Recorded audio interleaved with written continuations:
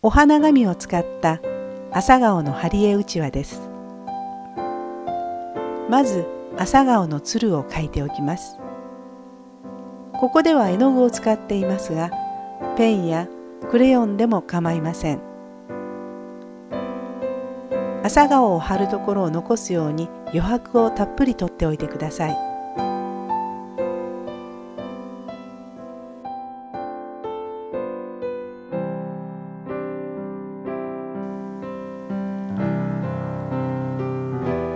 つるがかけたら乾燥させておきましょう。たくさん作る場合は型紙を用意しておくといいです。朝顔に使いたい色のお花紙を重ねます。お花紙は薄いので5枚から10枚ぐらい重ねても大丈夫です。縦長に半分に折ったらそれをさらに半分に折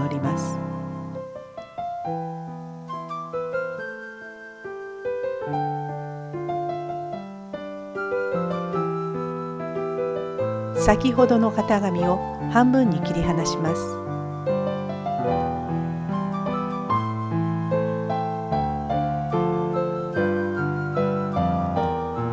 それを真ん中の線で折ります。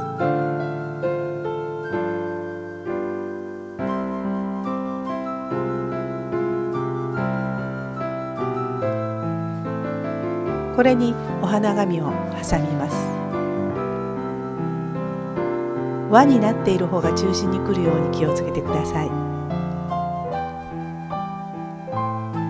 お花とお花の間をホッチキスで留めます。切るときは真ん中の星型の部分から切っていきます。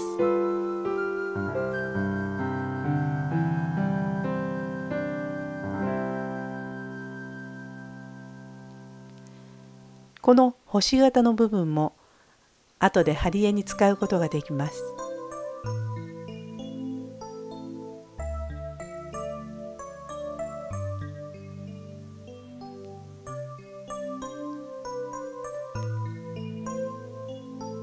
周りを切って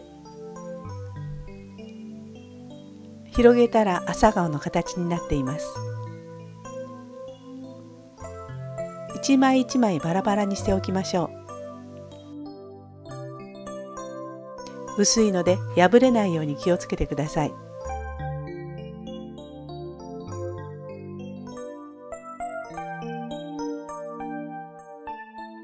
みんなで作業する場合には一つ一つに切り離しておくといいです。またこんな風に切れば簡単に真ん中の部分を切り取ることができます。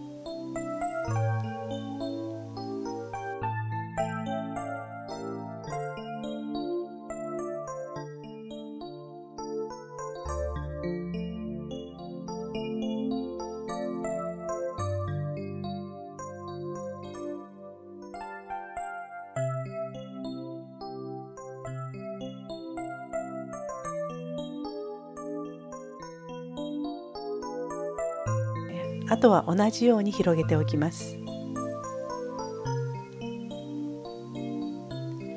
次に朝顔の葉っぱです。葉っぱも型紙を使うととっても早くできます。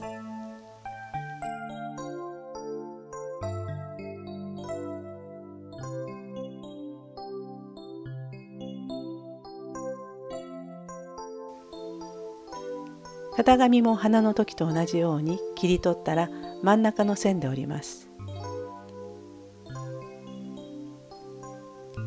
緑色のお花紙を半分の半分の半分八つ折りにします。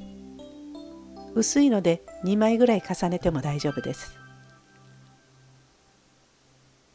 葉っぱのないところをホッチキスで留めます。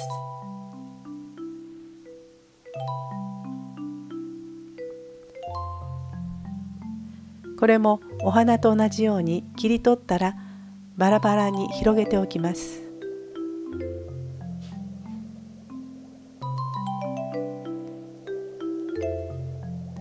小さいのや大きいのを作っておくといいでしょう。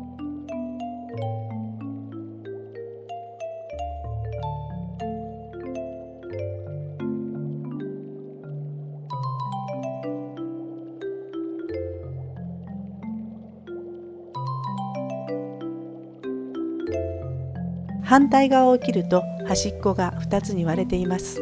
これは使いません。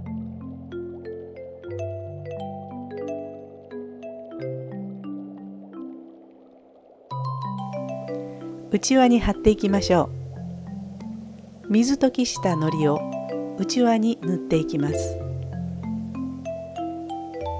ここに朝顔の花を置きますが中心部分が白いところに来るように置いてください。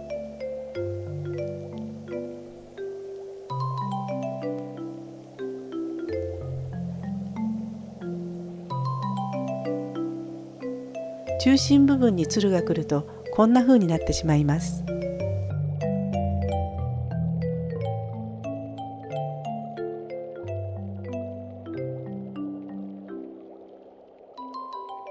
朝顔を置いた上から糊をつけた筆でなじませます。次に葉っぱを貼っていきます。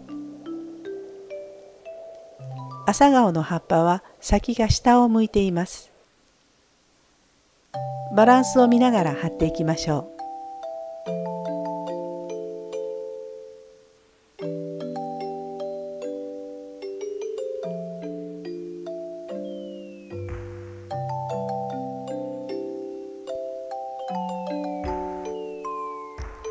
一枚一枚違った朝顔のうちわができます。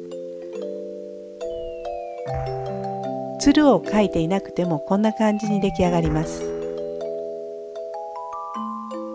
広げてしっかり乾かしましょう。